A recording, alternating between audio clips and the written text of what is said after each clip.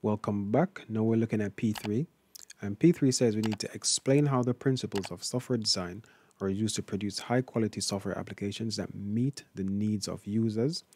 Describe the constructs and techniques available in different programming languages. Explain how they are implemented and documented, contrasting their implementation in different programming languages. So, P3, you're going to use all the speaking points from A4 on the spec. So on the unit 4 spec, you're going to go down to where it says A4 and you're going to use all of these. Use as many as you can.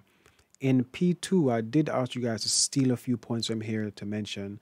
Again, don't go into too much detail because in P3, that's where you're going to go into all the details. So again, for P2, you steal a few pointers from here just to speak about in the different languages for P2. For P3, you use all of this for P3. Again, it's going to be a very, very long assignment because it's research heavy.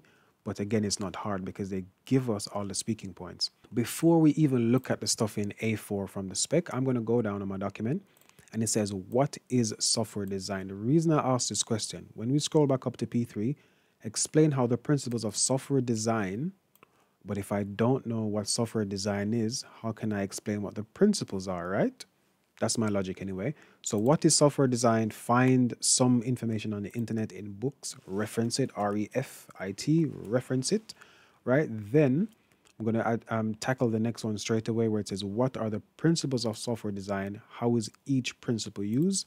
So you're going to have a decent list. So you're going to have principle one, it might be um, whatever it is, right? Principle two, and I would say give about four, so you might have something like this where you have principle one, two, three, and four. Go on Google. So if I go back to Google and Google uh, principles, I think I already did this. Principles of software design. Here we go. I have a list of six here. This is just a random website. Sorry, a list of seven. This is just a random website that gave me seven. Go and find your own. If you find a different website that has eight or five or seven or six like it has here, choose that and reference that website and say that I got my points from here. Read it understand it and rewrite it. Do not copy and paste anything. That is plagiarism, and you should be given a zero if you copy and paste. If you read something and you understand it, right? So, for example, I'm able to read this and understand it. Explain how the principles of software design are used to produce high quality software applications that meet the needs of users. So, first and foremost, I need to know what uh, software design is. That's number one.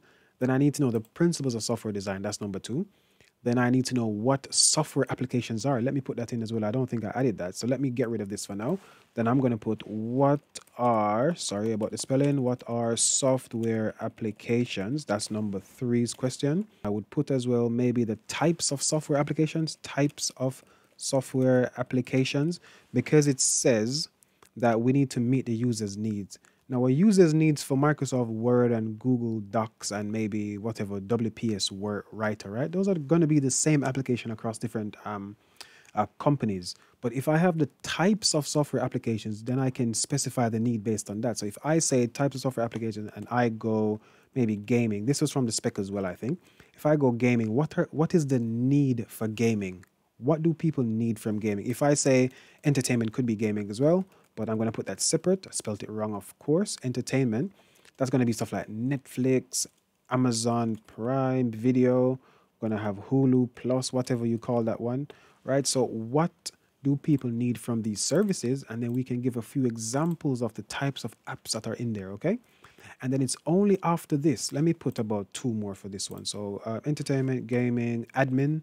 That's going to be uh, email apps, or email, so maybe stuff like Outlook, and maybe Gmail. Let's do Office suites. So Microsoft Office, WPS Office, whichever Office suites that you can think of. Last one I can think of is maybe creativity. Creativity. Um, I like to edit videos and I use a Filmora. I use I've used Premiere Pro. I've used others as well. But this is the list of four that I would use types of software applications. Now, you don't have to stick to four. I recommend doing more than four. There are so many different types of software applications that you can think of. Find a Google list and list about five or 10. You don't have to speak about all five or 10, but at least list them because people are going to need people need a different thing from gaming than they might do from admin, a different thing from creativity than they do from entertainment. So if you have a nice pack list of types of software applications, then when we come back to speak about how these meet the user's needs, we can go back to any one of them. So beyond this now, this is just your introduction. So these are the questions I would ask for the introduction, and this is how I would layer my introduction. After that is then I would come down and mention each of these. So command words, what are command words? Right? And then I would speak about those command words in my chosen languages. So command words, so what uh what oh gosh, sorry, what are command words? And then I would speak about command words in general. Right? In all programming languages, not just Python, not just Python, not just Java in general. Then I would maybe find some command words for Java or Kotlin right? This is Kotlin as well, same thing, but use Kotlin instead. Command words for Python, command words for C, I thought I said a C++, and I think R. Command words for each of these. This again is going to be a very, very long section, but this is how I would do it. Command words for each of these. After command words, the next thing I had on the list was uh, constants and variables, local and global variables. Okay, so that's a nice, easy one again. I think I mentioned this in P2 as well. So let's say variables first. Variables, you define variables. So what are, sorry about the spelling, not my usual keyboard. Variables, what are variables in general? Then we're going to speak about variables in all these languages again. Kotlin, Java, right? We're going to also speak about uh, constants. You might as well do it all at once. Constants, local, and global. So let me just quickly go over what these mean and what you guys should definitely go and research as well. A variable, just from the English word vary or varied, is something that can be changed, something that changes or can be changed, right? That's what a variable is in programming. Now you should go find your own definition. A constant is a value that is not changeable. We should not be able to change a constant. So the speed of light is known as a universal constant, right? A local variable is one that can be used in that section or fragment of the code. So in Python, we have function. In most of these lang languages, we have methods or functions, right? So a local variable should only be able to be used in that function within the scope of that function. So in Python, we define uh, define a function as called Bob, and Bob does some stuff. The stuff that Bob does should only be in the Bob function if it's a local variable. If it's a global variable, so again, I always say to you guys, IT engineers, computer scientists, we don't know how to name things, we simply describe things. So a global variable can be used anywhere in the program. I can go anywhere and use that variable. A local variable can only be used within a subsection of that program, within a function, within a method. A constant is again the, from the English word constant can't be um, cannot be changed, and the word variable can be changed nothing special here. I would speak about each of these points for these languages. So what are variables in general, right? Then I would come and say a constant in Java or Kotlin is done in this way or done in that way. To create a local variable in Java would be done in this way and reference it. So I believe I have these websites here open. So keywords, and I have we looked at keywords just before. So the keywords or the command words for Kotlin would be from the main Kotlin website. So I would copy this link and I would go to my document and I would reference this. I think I did the same thing for Python. This isn't the Python website, but it really doesn't matter. These are the command words or the or, or the keywords for Python. So I would just copy this link as well and reference it. And there, there you would have all your command words for Python, all your command words for uh, for Java, but you wouldn't have to use all of them. Mention a few of them right? And when we go down to um, the variables, I would speak about each one because it's easy enough to get these. So how do we do local variables in, um, in Java? Um, well, in Kotlin, how do we do global variables? How do we do variables in general? And how do we do constants? That's how I would do that. Data types, that's a very, very important one. So data types. So again, same process. I'm just trying to show you guys a process, right? What are data types in programming, right? Then I'll go and speak about data types in each of these languages. Now, I know that Python, I mean, Python has a lot, a lot more data types, right? But the main ones that people normally focus on are string, boolean uh, float. I'm going to put float or double as one thing because one is just more accurate than the other. I don't remember which one. I think float is 32 bits long, whereas a double is 64 bits long. But don't quote me on that. I keep forgetting this. Uh, the next one would be integer, I-N-T-E-G-E-R. That's a whole number. I'm not sure if I've left anything off. If I have, I'm sorry, right? But this is the typical list of data types at the mo at, at the most basic level. This is what people use. And you go and find the same thing for R, C++, C, and, and Java as well. But speak about them. So the common data types in Python are string, boolean, float, double integer. An example of how to assign again, this is how I would do it. This, this is what I would say. An example of how I would assign a string in Python would be name equals Bob. And then I would say note that the name value, so the, the, the variable's name, the variable is actually called the name. The value is Bob and note that Bob is in quotes. That's how I would do it. I would probably do that for each one. And I would do, uh, let's say up or down is the variable name. If it is true, the value is up. If it is false, the value is down. For float or double, I would probably say something like height.